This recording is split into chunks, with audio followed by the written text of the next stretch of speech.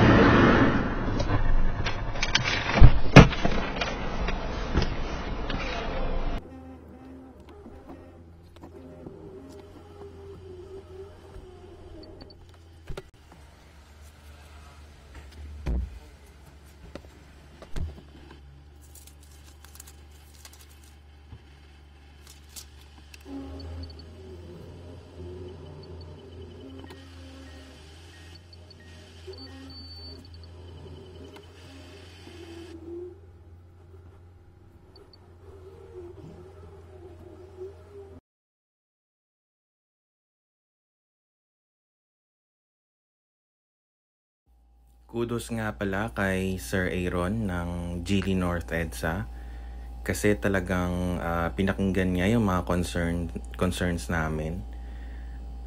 Meron kaming napansin na parang squeaking sound kapag bukas mo ng makina tapos sa andar ka parang merong tunog kaming napapansin. Hindi namin alam kung normal ba yun o merong something doon sa vehicle So ayun, pinatingnan namin sa kanya and nakita naman namin, ni-review namin yung uh, dashcam kasi merong camera yun sa loob. So ni-review namin yon after namin magpa-PMS and nakita naman namin na talagang uh, chinek nila, tinest drive nila yung sasakyan.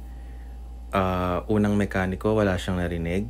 So bumalik siya sa casa Then, pinatingnan niya naman ulit sa isa pang mekaniko to double check na rin kung wala ba talaga siyang narinig.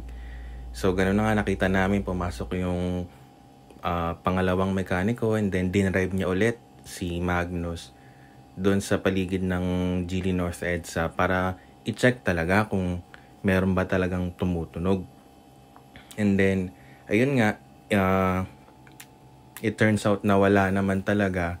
So, siguro napaparanoid lang kami.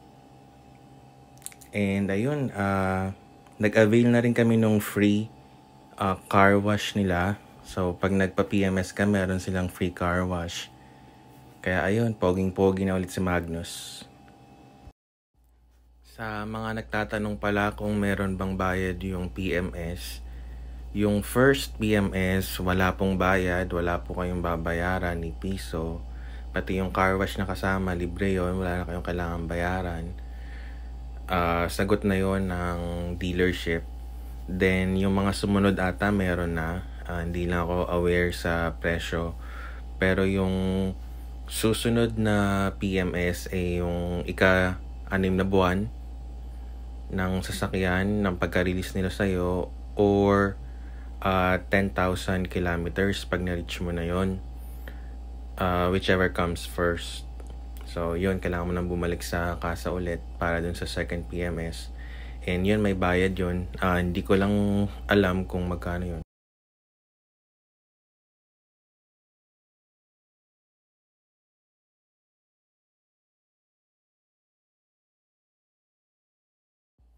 Ito pala yung uh, waiting area nila. So, meron silang lounge area. Kapag meron kang schedule, uh, maintenance, yun, pwede ka dito tumambay muna habang hinihintay mo silang matapos.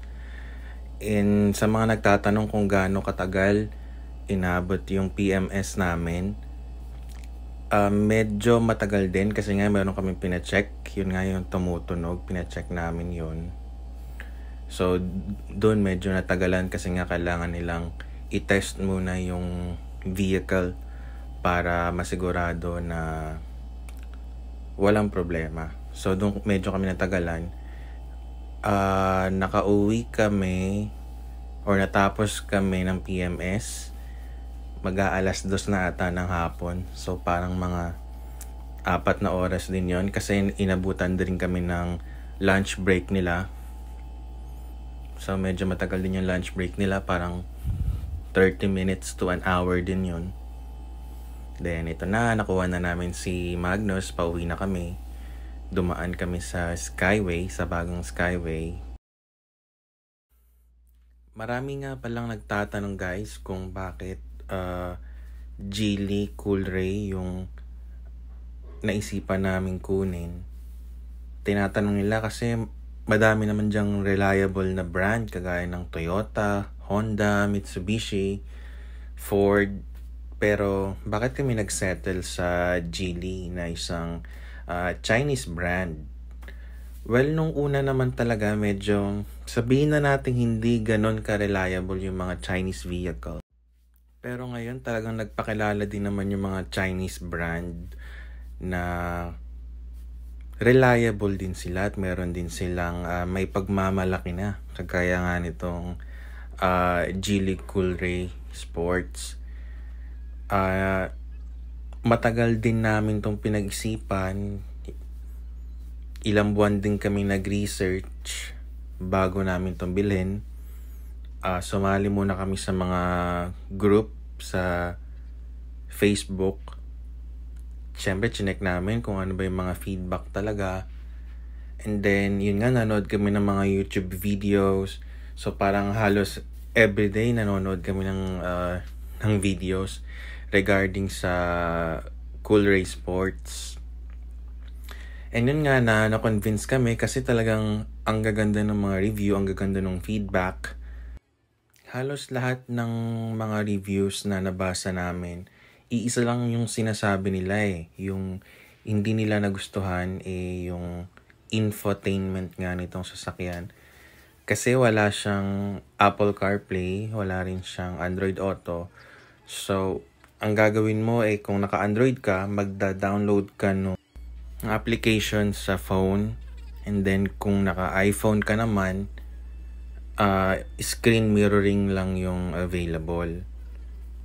Pero para sa amin, hindi naman siya ganun ka-importante. So, hindi yon naging uh, major issue para sa amin. Kaya ayun, uh, after ilang months din ng reviews, ng pagbabasa ng mga kung ano-ano, pag panonood ng mga YouTube videos. Uh, napagpasyahan na namin na ito na yung magiging first car namin.